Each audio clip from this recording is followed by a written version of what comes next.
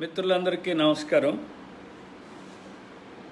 మిత్రులారా ఈ మధ్యకాలంలో చాలామంది ఈ విధంగా చాలామంది నాయకులు కూడా పర్సనాలిటీ డెవలప్మెంట్ కోర్సెస్కి అటెండ్ అవటం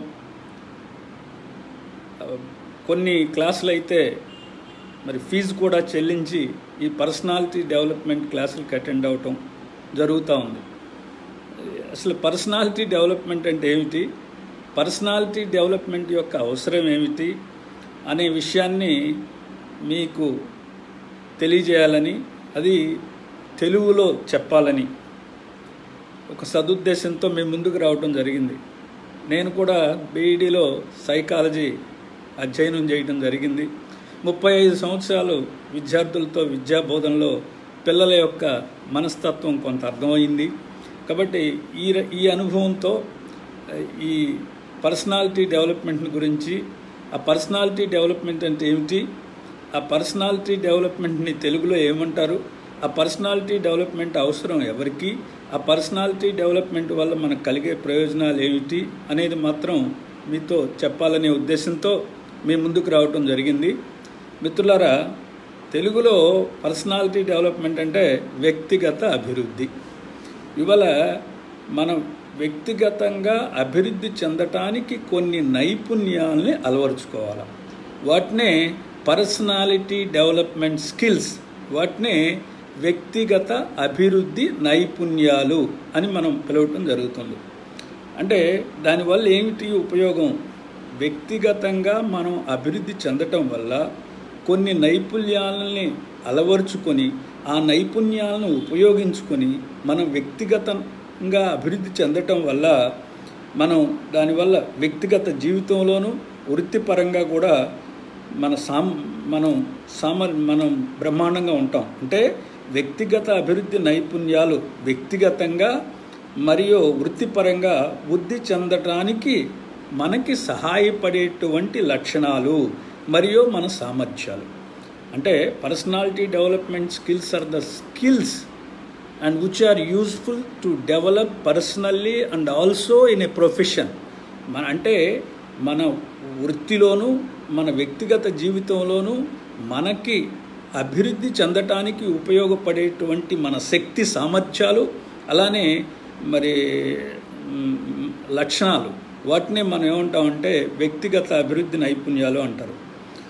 సో ఈ మ- ఈ వీటి వల్ల మనం వ్యక్తిగతంగా అభివృద్ధి చెందటమే కాకుండా మనం ఏ వృత్తిలో ఉన్నామో ఆ వృత్తిలో రాణించడానికి కూడా మనకు ఉపయోగపడతాయి.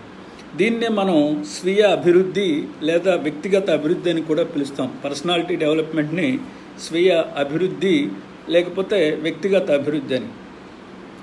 మన విజయానికి తర్వాత మన జీవితంలో సంతృప్తిగా ఉండటానికి వ్యక్తిగత అభివృద్ధి నైపుణ్యాల వల్ల మన జీవితంలో సంతృప్తికరంగా ఉండటానికి మన వృత్తిలో మరింతగా రాణించటానికి అంతేకాకుండా మన యొక్క మనస్తత్వ పరిణితి అంటే మెచ్యూరిటీ అంటాం.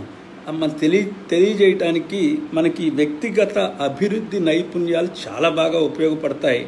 తర్వాత ఈ చాలామంది వ్యక్తులు జీవితాంతం కూడా తమ వ్యక్తిగత అభివృద్ధి నైపుణ్యాలని మెరుగుపరుచుకోవటానికి ప్రయత్నిస్తూ ఉంట ఉంటారు. వ్యక్తిగత అభివృద్ధి నైపుణ్యాలను పెంచుకుంటూ ఉంటారు.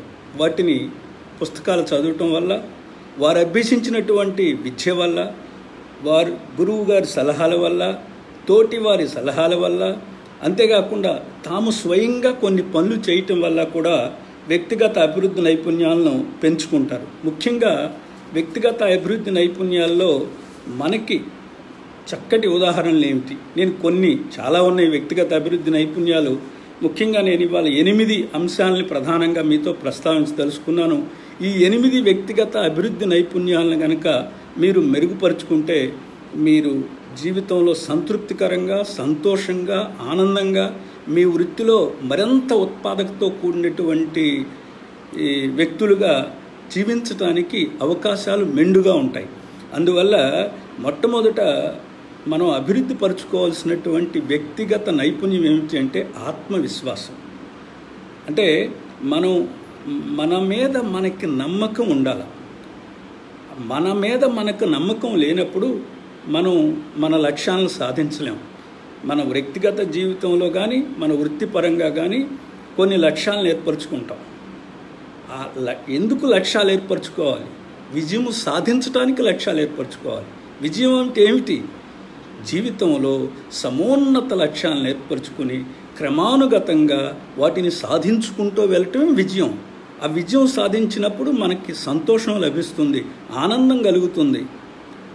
కాబట్టి ఆ సంతోషాన్ని పొందటానికి ఆనందాన్ని పొందటానికి కావాల్సింది ఏమిటయ్యా అంటే మన మీద మనకి నమ్మకం. కాబట్టి మొట్టమొదటి వ్యక్తిగత అభివృద్ధి నైపుణ్యాల్లో నేను చెప్పేది ప్రతి వ్యక్తి కూడా ఆత్మవిశ్వాసాన్ని అభివృద్ధి చేసుకోండి. అంటే అందుకే ఒకసారి వివేకానంద స్వామి అంటారు ఈ ప్రపంచ చరిత్ర అంతా కూడా ఆత్మవిశ్వాసం కలిగినటువంటి వ్యక్తుల యొక్క చరిత్రే ఈ ప్రపంచ చరిత్ర అని చెప్తాడు. ఒకరోజు సూర్య భగవానుడు అస్తమిస్తూ ఈ ప్రపంచానికి కాంతి ఎట్లా అని బాధపడుతున్నప్పుడు దీపావళి రోజున మన గుమ్మం ముందు పెట్టే ప్రమిది చెప్పిందట మహాప్రభు ఈ ప్రపంచానికి మొత్తానికి కాంతిని నేను ఇస్తాను మీరు విచారించకండి అని. తన మీద తనకి ఎంత నమ్మకం ఉన్నదో చూడండి.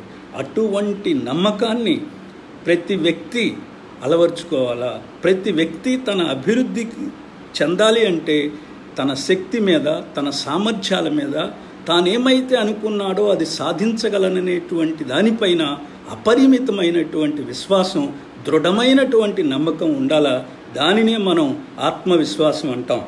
తర్వాత రెండవ వ్యక్తిగత అభివృద్ధి నైపుణ్యం సానుకూలత శక్తి సానుకూలత ఆశావహ దృక్పథం అని పిలుస్తాం. దాన్ని ఇంగ్లీష్లో అయితే ఈజీగా అర్థం అవుతుంది పాజిటివ్ థింకింగ్ పాజిటివ్ యాటిట్యూడ్ అయితే మనం ఏమైతే అనుకున్నామో అది సాధించగలను అనేటువంటి ఆలోచన ధోరణే సానుకూల ఆలోచన అంటాం.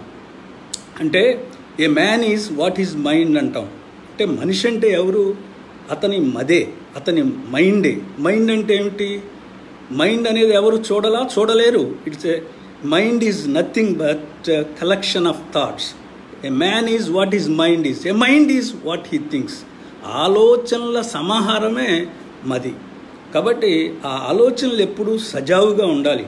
ఆలోచనలు ఎప్పుడూ సకారాత్మకంగా ఉండాలి. ఆలోచనలు ఎప్పుడూ సాధించే విధంగా ఉండాలి. ఎప్పుడూ కూడా ప్రతికూలంగా ఆలోచించబాకండి. ఎప్పుడూ కూడా నా వల్ల కాదు అనే ఆలోచన చేయకండి.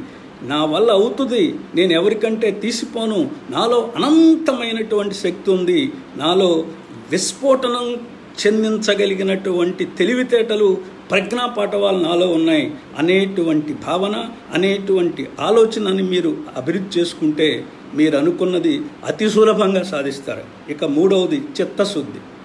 అంటే ఇంటిగ్రిటీ అని అనుకోండి పోని. అంటే సమగ్రత. మనం మైండ్లో ఏ ఐడియా వచ్చిందో అదే చెప్పాలా? అదే అమలు చేయాలి. కాబట్టి అలా చేసినప్పుడే మన మీద ఎదుటి వ్యక్తికి నమ్మకం ఏర్పడుతుంది. కాబట్టి మనకు సహకరించడానికి అవకాశం ఏర్పడుతుంది. మన మీద గౌరవం పెరుగుతుంది. మనం మనం చెప్పేది వింటారు వాళ్ళు అలా చేసినప్పుడు. కాబట్టి ఆ ఆ నైపుణ్యాన్ని కూడా అలవర్చుకోవాలి. చాలా ముఖ్యమైనది మన వ్యక్తిగత అభివృద్ధి నైపుణ్యాల్లో మరొక ముఖ్యమైన అంశం ఏమంటే వ్యక్తుల మధ్య సంబంధ బాంధవ్యాలు. దాన్నే ఇంగ్లీష్లో ఇంటర్ పర్సనల్ స్కిల్స్ అంటాం. మరి ఇది చాలా అవసరం. మనం మానవుడు సంఘజీవి.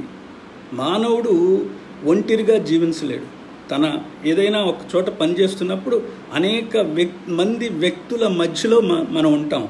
కాబట్టి ఒక వ్యక్తికి మరొక వ్యక్తికి గల మానవ సంబంధాలు ఎలా ఉండాలి? దాన్నే ఇంటర్ పర్సనల్ స్కిల్స్ అంటాం. దాన్నే వ్యక్తిగత దాన్నే వ్యక్తుల మధ్య సంబంధ బాంధవ్యాలు అంటాం. ఎప్పుడూ కూడా వేరొక వ్యక్తితో మాట్లాడేటప్పుడు యూజ్ కైండ్ వర్డ్స్. మంచి దయతో కలిగినటువంటి మాటలు మాట్లాడు. తర్వాత మాట్లాడేది చిత్తు చిత్తశుద్ధితో మాట్లాడు. మాట్లాడేటప్పుడు ఎదుట వ్యక్తి కళ్ళల్లో చూస్తూ మాట్లాడు. ఆ నువ్వు మాట్లాడుతున్నటువంటి విషయాన్ని ఎదుట వ్యక్తి ఆసక్తిగా వినేటట్టు చెయ్యాలి అంటే ఆ ఎదుట వ్యక్తి కళల్లోకి చూసి మాట్లాడు. మాట్లాడేటప్పుడు ఎక్కడ వాయిస్ పెంచాలా ఎక్కడ వాయిస్ తగ్గించాలి? ఇంటొనేషన్ ఆఫ్ పిచ్ పిచ్ అంటే ఇంటొనేషన్ అంటాం దాన్ని. ఎక్కడ పెంచాలి ఎక్కడ తగ్గించాలి అన్న దాన్ని ఇంటొనేషన్ అంటాం. పిచ్ ఆఫ్ వాయిస్ని ఇచ్చేస్తూ ఉండు. అట్లానే బాడీ లాంగ్వేజ్ని వాడుకో. అంటే ముఖ ఎదుటి వ్యక్తి ముఖ కవలికలను కూడా నువ్వు గమనిస్తూ ఉండు. నువ్వు చెప్పేది అతనికి అర్థమవుతుందా లేదా? అతను ఏ విధంగా అతని భావాలు ఉన్నాయనేది నువ్వు గ్రహించగలగాల. అట్లానే నువ్వు చేతుల ద్వారా కళ్ళ ద్వారా నీ యొక్క శరీరంలోని భాగాల్ని ప్రతిబింబిస్తూ నీ నీ మాటలని నీ ఐడియాస్ని నీ భావాల్ని అద్భుతంగా అతనికి ప్రజెంట్ చేయగలిగి ఉండాలి. తర్వాత ఈ- ఈ వ్యక్తి మా ఇంటర్ పర్సనల్ స్కిల్స్లో మరొక ముఖ్యమైన అంశం ఏమిటంటే ఎంపతి అంటాం ఇంగ్లీష్లో. దాన్ని సహానుభూతి తాదాప్యం అంటారు తెలుగులో. అంటే ఎదుటి వ్యక్తి యొక్క స్థానంలో నువ్వు ఉంటే ఏ విధంగా ప్రవర్తిస్తావు అనేటువంటి ఆలోచన కూడా నీ నువ్వు అతనితో సంబంధాన్ని నెరవేర్చేటప్పుడు రావాల్సినటువంటి అవసరం ఉన్నది. అట్లా చేస్తే ఇంటర్ పర్సనల్ స్కిల్ వ్యక్తుల మధ్య మానవ సంబంధాలు అద్భుతంగా ఉన్నప్పుడు నువ్వు అనుకున్నది అతి సులభంగా సాధిస్తావు. తర్వాత సమస్య పరిష్కారం.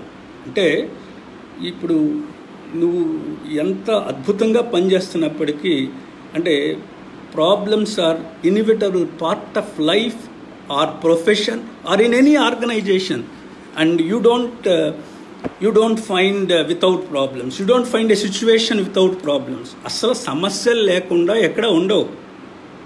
సో ప్రతి సమస్యకి ఒక పరిష్కారం ఉంటుంది. కాబట్టి ఆ సమస్యని పరిష్కరించే నైపుణ్యాన్ని దినదినానికి అభివృద్ధి చేసుకోవాలి? మెరుగుపరుచుకోవాలి? ఇప్పుడు if they if there are no solutions for a problem there is there is no use of worrying about it కాబట్టి ఒక సమస్యకి పరిష్కారం లేకపోతే ఎందుకు విచారిస్తా? If there is a solution for the problem try to solve it ఆ సమస్యకి పరిష్కారం ఉంటే పరిష్కరించు. కాబట్టి అంటే ఆ సమస్య రావటానికి కారణం ఏమిటి? What are the what are the problem solutions to that problem ఆ సమస్యకి ఎన్ని రకాల అవకాశాలు ఉన్నాయి పరిష్కరించడానికి అన్వేషించు. వాటిలో which is the best if necessary discuss with others come to a conclusion execute that idea and solve that problem this is very important తర్వాత నెక్స్ట్ అడాప్టబిలిటీ దాన్ని రిసెలెన్స్ అంటాం ఇప్పుడు సైకాలజీలో ఒక రబ్బర్ బ్యాండ్ని లాగామనుకోండి మళ్ళీ వదిలేయంగానే ఫ్రాక్షన్ ఆఫ్ సెకండ్లో మామూలు స్థితికి వస్తుంది. ఆ రబ్బర్ బ్యాండ్ లాగి వదలగానే మామూలు స్థితికి ఎట్లా వస్తుందో మీరు వ్యక్తిగత జీవితంలో కానీ మీ వృత్తిలో కానీ మారిన పరిస్థితులకు అనుకూలంగా మీరు మార్పు చెంది ఆ పరిస్థితిని తట్టుకునే విధంగా ఆ పరిస్థితికి అనుకూలంగా సర్దుబాటు మనస్తత్వంతో సర్దుబాటు చేసుకోవాలి. That what we call it is resilience or adaptability ఇవాళ సైకాలజిస్టులు ఏక్యూ లెవెల్స్ ఆలోచిస్తున్నారు. ఈ వ్యక్తికి అడాప్టబిలిటీ కోఎఫిషియంట్ ఎంత బాగా ఉంది? అంటే మారిన పరిస్థితిని తట్టుకుని నిలబడగలిగినటువంటి శక్తి సామర్థ్యాల కొలమానమే అడాప్టబిలిటీ కోఎఫిషియంట్ అంటాం. అది ఎంత ఉందో చూస్తున్నారు ఇవాళ. కాబట్టి ఈ జీవులన్నీ కూడా మార్పుని సహజంగానే ఆహ్వానిస్తూ ఉంటాయి. దాని మీదే Charles Darwin theory of organic evolution అనేటువంటిది ప్రవేశపెట్టాడు.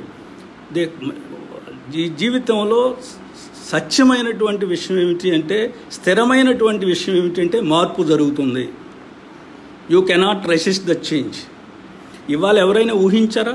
ఆర్థిక వ్యవస్థ చిన్నాభిన్నం అవుతుందని విద్యా సంస్థలు మూసివేస్తారని వ్యాపార సంస్థలు మూసివేస్తారని సినిమా హాల్స్ మూసివేస్తారని మాల్స్ మూసివేస్తారని ఒక కంటికి కనిపించినటువంటి సోస్మాతి సూక్ష్మమైనటువంటి virion particle corona novel virus covid nineteen అనే వ్యాధి కలగజేసి ప్రపంచాన్ని చిన్నాభిన్నం చేసినటువంటి పరిస్థితి. ఈ పరిస్థితికి అనుకూలంగా నువ్వు తట్టుకోవాలా? It's a part of life we are helpless మనం చేయాల్సింది ఈ పరిస్థితికి అనుకూలంగా కడు జాగ్రత్తలు తీసుకుని మనకి ఆ కరోనా వైరస్ని ఆహ్వానించకుండా మనకు ఆ జబ్బు రాకుండా జాగ్రత్తలు తీసుకోవటం. ఆ మూడు జాగ్రత్తలు మాస్కులు ధరించటం పరిశుభ్రత పాటించటం భౌతిక దూరాన్ని పాటించటం. వీటి ద్వారా అది పరిస్థితులకే ఒక రకంగా అనుకూలంగా ఉంటాం రెండు. ఇక దీనివల్ల వచ్చినటువంటి ఆర్థిక వ్యయ ప్రయాసాలను ఏ విధంగా తట్టుకోవాలనేది ఇంకొకటి. కాబట్టి ఈ విధంగా ఈ మార్పు అనేది సహజం. మార్పు అనేది స్థిరమైన శాశ్వత సత్యం. ఆ మార్పుకి అనుకూలంగా మీరు అనుకూలత ఏర్పరచుకోవాలా? రిసలెన్స్ అనేటువంటి కాన్సెప్ట్ని డెవలప్ చేసుకో అనే అనే దాన్ని డెవలప్ చేసుకోవాలా? దా సో కాబట్టి తర్వాత ఇక నా ఎక్కడైనా సరే నాయకత్వ పటిమ మీరు పెంచుకోవాలి. ఇది మన వ్యక్తిగత అభివృద్ధిలో చాలా క్రియాశీలక పాత్ర వహిస్తుంది. నాయకత్వ పటిమ ప్రతి వ్యక్తి నాయకుడే. మీ కుటుంబంలో మీ పిల్లలకి మీరు నాయకులు. మీరు ఒక టీచరు. క్లాస్ రూమ్లో మీరు నాయకుడు. మీరు ఒక ఫ్యాక్టరీ మేనేజర్. మీరు ఆ ఎంప్లాయీస్ అందరికీ నాయకుడు. సో కాబట్టి ఒక్కొక్క ఆర్గనైజేషన్లో మీ నా ఒక్కొక్క నాయకుడు ఉంటారు నాయకులు ఉంటారు. వాళ్ళు వాళ్ళ నాయకత్వ పటిమని రోజు రోజుకి పెంచుకుంటూ వెళ్ళాలా? అంటే రోజు రోజుకి వారు అందరి చేత ఆమోదించబడేటువంటి ఇష్టపడేటువంటి నాయకుడు కావాలా? అసలు నాయకత్వం అంటే ఏమిటి? అంటే తాను చెప్ నాయకుడు అనే వ్యక్తి చెప్పే మాటల ద్వారా చేతల ద్వారా తన దగ్గర పనిచేసే వాళ్ళు స్వచ్ఛందంగా ఎటువంటి బలవంతం లేకుండా ఇది నా పని అనుకుని అందరి అందరి యొక్క క్షేమం కోసం కానీ అందరి యొక్క లబ్ధి కోసం కానీ పనిచేసి అందరికీ ఉపయోగపడే లక్ష్య సాధనని ఎవరైతే చేయించగలరో వాడు నాయకుడు. నాట్ బై యూజింగ్ అథారిటీ అధికారం ఉపయోగించి కాదు. నాయకుడు మాట్లాడిన మాటల ద్వారా నాయకుడు చేసిన పనుల వల్ల స్వచ్ఛందంగా నేను ప్రభావితం చెంది స్వచ్ఛందంగా నేను ఉత్తేజం చెంది ఈ కార్యక్రమం నాది అనే భావనతో త్వరగా చేసి అందరికీ లబ్ధి చెందేటట్టు పని చేయి చేశానో అప్పుడు అతను నా నాయకుడు ఫలప్రదమైన నాయకుడుగా ఉంటాడు అతను. అతను విజయోన్ముఖుడైనటువంటి నాయకుడిగా ఉంటాడు.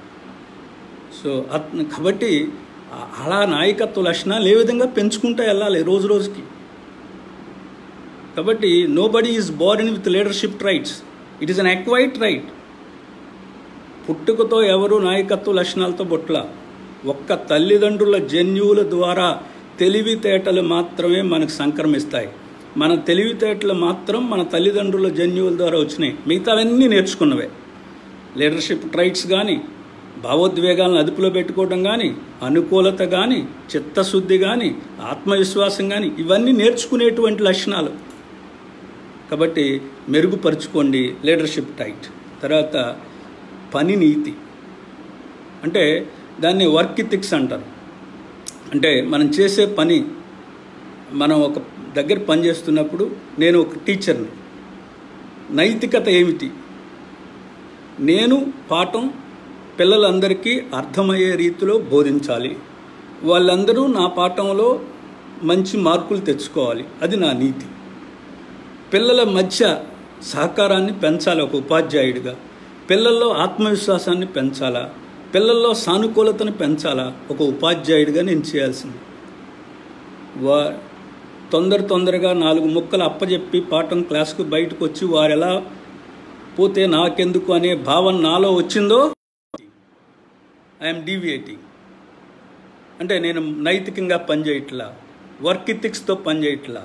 కాబట్టి ఈ ఎనిమిది లక్షణాలు కూడా మిత్రులందరూ నా విద్యార్థులందరూ అభివృద్ధి పరుచుకొని జీవితంలో మరింతగా అభివృద్ధి చెంది మరింత సంతృప్తితో మనం మరింత సమృద్ధితో మరింత ఆనందంగా మరింత సంతోషంగా మరింత ఉల్లాసంగా మరింత హుషారుగా ఉండాలని ఆశిస్తూ शुभम भूयात नमस्कार।